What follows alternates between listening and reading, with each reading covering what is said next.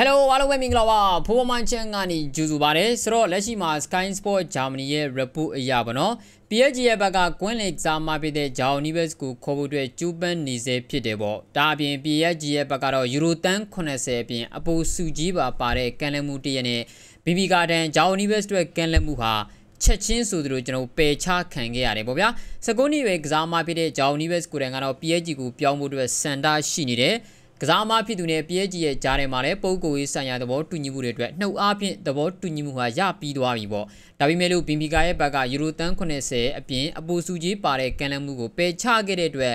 PSG ကဆက်ပြီးတော့ကျူးပန်းနေစေဖြစ်တယ်ပေါ့ဗျာဆိုတော့ဒီကစားမဖြစ်သူတွေ PSG ကကျွန်တော်အနေနဲ့ပုံကိုရေးဆိုင်ရာသဘောတူညီမှုရပြီဆိုကြတဲ့က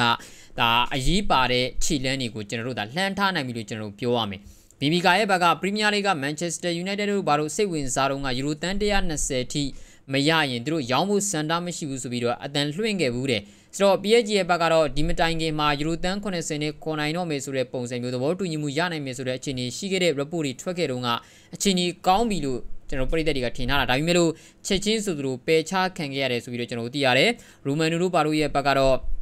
report လုပ်ခဲ့တဲ့ပုံစံမျိုးတွေကျွန်တော်မတွေ့သေးပါဘူးဒါပေမဲ့ Florian Plettenberg ဆိုတာကလည်း Sky Sport မှာ the German reporter တယောက်ပါတော်တော်လေးကိုကျွန်တော်တို့ဒါဒီယုံကြည်လို့ရတဲ့နေရာမှာကျွန်တော်ပါတယ်ပေါ့နော်ဆိုတော့ Bimika ရဲ့ဘက်ကလည်းဒီလို19နှစ်ပဲကစားမကိုယူရိုတန်း80နဲ့လွယ်လွယ်ကူကူနဲ့လက်လွတ်လိုက်မယ်လို့ကျွန်တော်တို့မထင်ပါဘူးဆိုတော့ PSG ရဲ့ဘက်ကတော့တိထက်ပို့ပြီးတော့ငွေပိုပေးရမယ့်အနေထားပါ PSG ကချမ်းသာတဲ့ကလပ်တွေထဲမှာပါပါတယ်ဒါပေမဲ့လို့သူတို့ကလည်းဒီငွေကြီးစီးစီးမှုရသူတို့ကြည့်တဲ့အနေထားမျိုးမှာဒီနူယာဒီပြောင်းရွှေ့ထပ်ပြီးတော့သုံးရမယ့်အနေထားမျိုးလူရင်ရောင်းချမယ့်အနေထားမျိုးပါဆိုတော့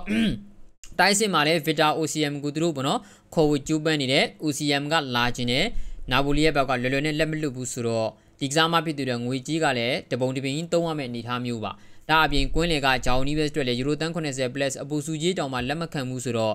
တန်း90လောက်ထိအနည်းဆုံးပမာဏနဲ့ကမ်းလှမ်းနိုင်မှာကိုအဆင်ပြေမှာဒါပေမဲ့လို့ကွင်းလယ်မှာဥကာတီကိုအရင်ဆုံးရောင်းချပြီးမှရတဲ့ငွေနဲ့ပေါင်းခုံမဲ့သဘောမျိုးပါပြဿနာကဥကာတီအတွက်လည်းတန်း80တီသူတို့ကလိုချင်တယ်လို့အတန်လွှင့်ထားတဲ့အတွက်မန်ချက်စတာယူနိုက်တက်ဟာအဲ့ဒီဥကာတီအတွက်ဈေးနှုန်းကိုပေးဖို့အတွက်ဆန္ဒရှိမနေဘူးဆိုတော့ PSG ရဲ့ဘက်ကလည်းဒီကစားမဖြစ်သူတွေကန်းတော့ကန်းလန်းနိုင်တယ်ဒါပေမဲ့ဥကာတီကိုရောင်းချဖို့လိုတယ်ဆိုတဲ့သဘောမျိုးပဲဆိုတော့ဥကာတီကိုရောင်းချဖို့လိုတယ်ဆိုတာကမဖြစ်မနေတော့မဟုတ်ဘူးဘာလို့လဲဆိုတော့သူတို့ကဥကာတီအတွက်အငှားချဖို့လေသူတို့ကစီစဉ်ထားပြီးသား ဆိုတော့ဥကာတီကိုအငှားချတဲ့နေရာမှာအပိသက်ဝယ်ယူခွင့်တော့ထည့်ရမယ်ပေါ့ဗျာဒီတိုင်းပလိန်ကြီးအငှားတော့မချဘူးပေါ့ဒါပေမဲ့လို့အပိသက်တဲ့နဲ့ကသူတို့အယောင်းချခြင်းဆုံးပဲသူတို့ရဲ့ဆန္ဒရဘာလို့လဲဆိုတော့အဲ့ဒီရဲ့ငွေကိုဒီ Nibes အတွက်သူတို့တွေကဒါတုံးသွားခြင်းတဲ့သဘောမျိုးပေါ့ဆိုတော့ဂျီရိုတန်း80ကျွန်တော်အပူစုကြီးဆိုတာမျိုးကအာဘီမီကာရဲ့ဘက်ကလက်လွတ်လိုက်မယ်လို့ကျွန်တော်မထင်ပါဘူးသူတို့ကိုယ်တိုင်လည်းပယ်ချခဲ့တယ်ဆိုတော့တန်းတရာဝန်းကျင် လောက်တော့ကန်လန်းနိုင်မှရမယ်လို့ထင်တယ်တန်းတရာ plus အပူစုကြီးတန်း20ဘာညာဆိုလို့ရှိရင်တော့ရာကောင်းရနိုင်မှာပေါ့ဗျာဒါပေမဲ့ PSG ရဲ့ဘက်ကတန်း200ဒီကျွန်တော်တန်း100ဒီကျွန်တော်ပေးပါမလားဒါကတော့ကျွန်တော်မေးကိုဘာကြောင့်လဲဆိုတော့ PSG ကခုနကပြောသလိုပဲနောက်တန်းလေးသူတို့ကခေါ်ရမှာနောက်တန်းလဲသူတို့မှာကစားမတချို့ရှိတယ်ဆိုပြီးအဆင်ပြေးမနေဘူးဒါပေမဲ့သူတို့ကတိုက်စစ်မှာလဲ OCM ကိုခေါ်ခြင်းနဲ့ကွင်းလယ်မှာလဲ Nibes ကိုခေါ်ခြင်းနဲ့ဆိုတာမျိုးကအဲ့ဒီနှစ်ယောက်နဲ့နေတန်း200ကျော်သွားမဲ့ပုံစံမျိုးဘယ်လိုမှ PSG အတွက်လွယ်လွယ်ကူကူကျွန်တော်ရှိမနေဘူးပေါ့နော်ဒါကြောင့်ကျွန်တော်ကတော့